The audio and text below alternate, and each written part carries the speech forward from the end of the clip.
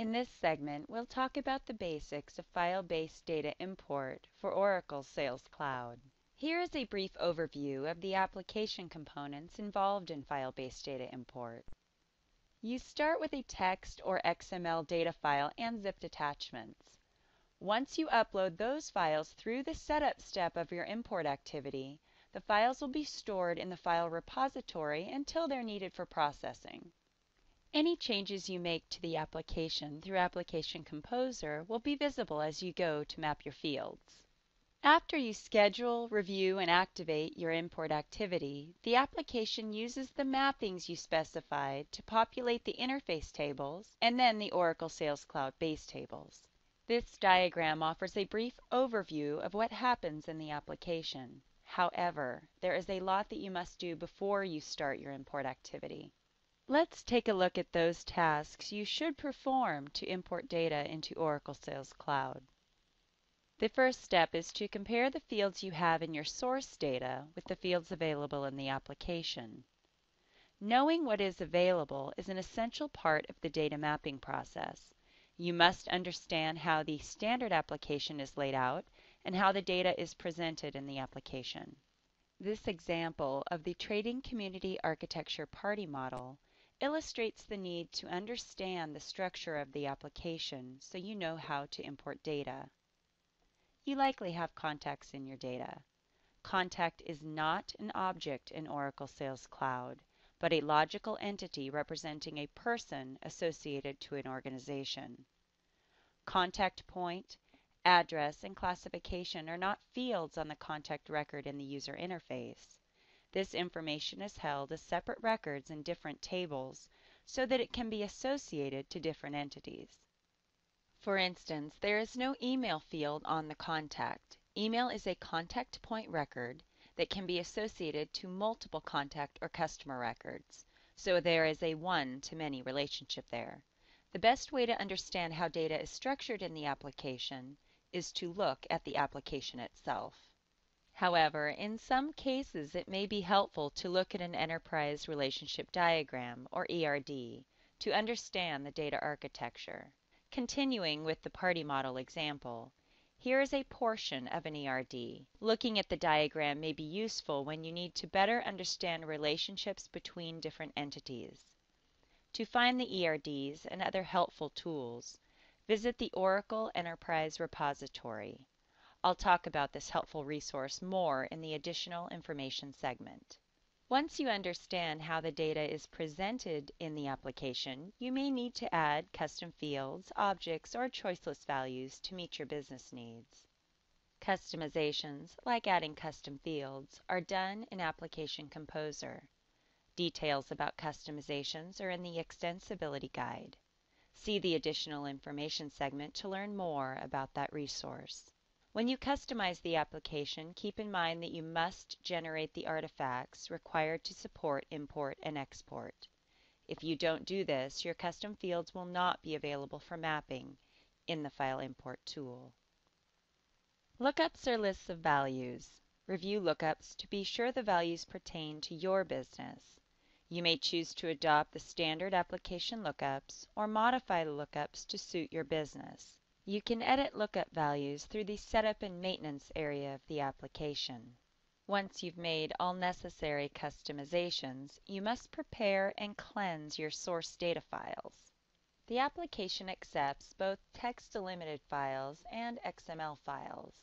Text-delimited files, such as CSV files, support simple one-to-many relationships or one-to-many-to-one relationships. Text files are simpler to work with because you can edit them in a spreadsheet. However, text files may require more import task executions when dealing with complex relationships. XML files support more complex relationships, like one-to-many to many relationships. XML files can process more data in a single import task. However, editing XML files can be more complicated.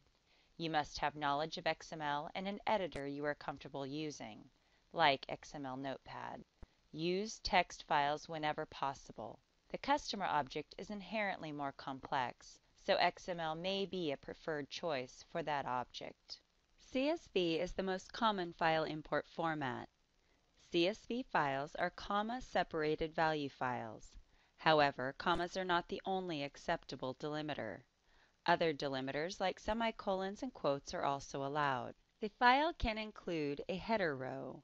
In this example, the header row includes the name of both the object and attribute. This is very handy when you get to the mapping part of the file import activity. We provide file-based data import templates to help you get started. See the additional information segment to learn more about those templates. When you prepare your source data files in CSV or XML format, keep these tips in mind. Take the time to clean your data to eliminate unnecessary records. Ask yourself if you need so much history. You will import each object using a separate file. You will need to import those files in a certain order to be sure that a parent object is imported before a child object. For example, you must import sales accounts before you import the other data that will associate to those sales account records. Unique identifiers or keys help you identify unique records as well as relationships between objects. Leverage your source system to generate unique keys. Source system keys provide the most flexibility for you and will save steps in the import process. Also, be sure that your choice list values match the Oracle Sales Cloud lookup values. Here is a sample import file and the Manage Sales Statuses page in the application. Here I can compare the status codes on my file to the available codes. Some lookup values are seeded for you when your environment is provisioned, like these sales statuses. Other lookup values are generated as required, like business units. Be sure to verify the values in your file with the lookup values listed in the application. Beyond lookups, you can check other key data directly in the application. In this example, I can match the product group ID from my source file with the reference number in the Manage Product Groups task. You can also use reports, data export, or web services to gather data.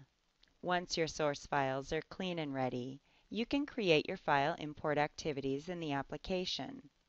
Keep in mind that there is a correct order when importing objects. For example, you should import sales accounts first, so those records are available when you go to import contacts and other data related to sales accounts. See the other segments in this series for a walkthrough of the steps involved in creating an import activity in the application.